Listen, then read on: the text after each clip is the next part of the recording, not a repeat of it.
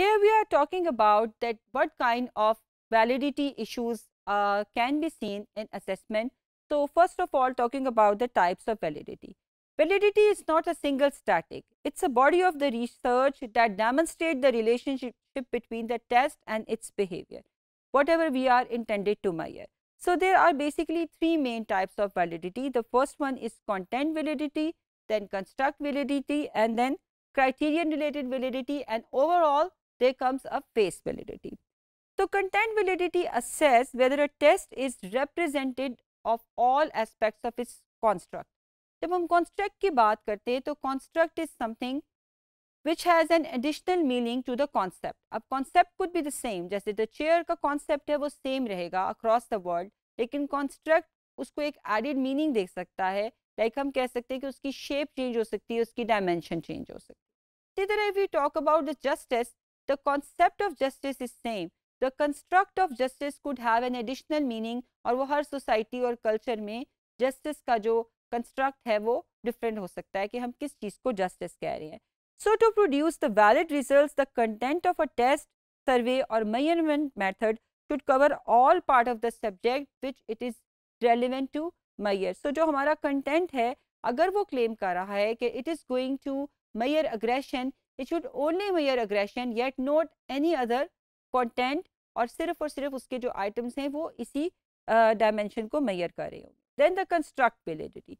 constructability as I say that जब हम construct की बात करते हैं तो it has an additional meaning जो कि चेंज हो सकता है from society to society from culture to culture तो बेसिकली जो चीज़ हम मैयर करने जा रहे हैं वो स्पेसिफिकली हम उसको ही मैयर कर रहे हों। It's central to establish the overall validity of the method like ऐसा ना हो कि हम ईटिंग डिसऑर्डर का स्केल बना रहे हैं और उसके अंदर हम डाइटिंग बिलीव भी देख रहे हैं। It should strictly retain to the DSM criteria जो कि बेस करता है ईटिंग डिसऑर्डर के आइटम्स को। Criterion related validity is a general term to describe how well scores are being measure either वो प्रडिक्टिव हो सकते हैं या फिर वो क्राइटीरियन हो सकते हैं। So the two different types of the criterion validity is predictive validity and concurrent validity.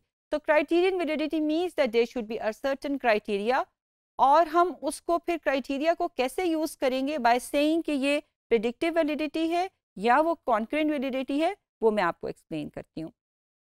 Predictive validity. When we talk about that there is a certain criterion available and uh, predictive validity क्या होगी कि when the criterion variables are obtained at a time after the test. Like, हम एक certain criteria रखते हैं और हम कहते हैं कि इस टेस्ट में जितने भी स्टूडेंट्स अबव हंड्रेड जो है वो क्रॉस करेंगे, वो स्टूडेंट्स हमारे academic प्रोग्राम में बहुत ही इंटेलिजेंट स्टूडेंट्स होंगे। तो ये हमारा एक क्राइटेरिया हो गया। या इसी तरह हम कहते हैं कि अगर आईक्यू टेस्ट पे अगर कोई इंडिविजुअल 120 से अबव स्कोर कर रहा है, वो एक बहुत जीनियस इंडिविजुअल होगा।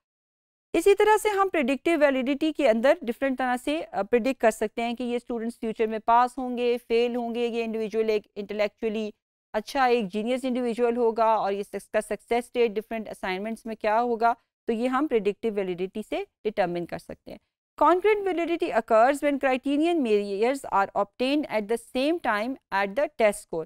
Like हमारा एक criteria है, हम कहते हैं कि एक certain level पर हम ये एक सर्टन स्कोर की बेसिस पे कह सकते हैं कि ये माइल्ड डिप्रेशन है। उसी क्राइटेरिया में जब स्कोर्स और ऊपर चले जाते हैं, हम कहते हैं ये मॉडरेट जो है वो डिप्रेशन है और उसके बाद ये हाई डिप्रेशन है।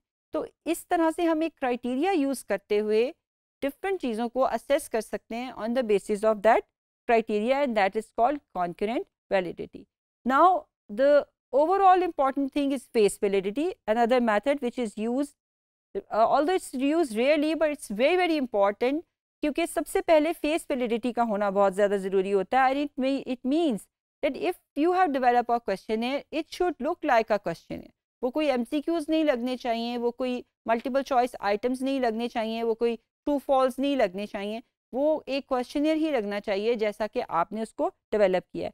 So when you talking about its component, the test of the happiness appears to actually measures level of happiness. अगर आप एक happiness का test जो है वो दे रहे हैं और उसको आप read करते हैं तो उसके items जो हैं वो ये claim कर रहे हों कि वो happiness के different levels को measure कर रही है. So it should measure what it looks like to be measured. This is called the face validity.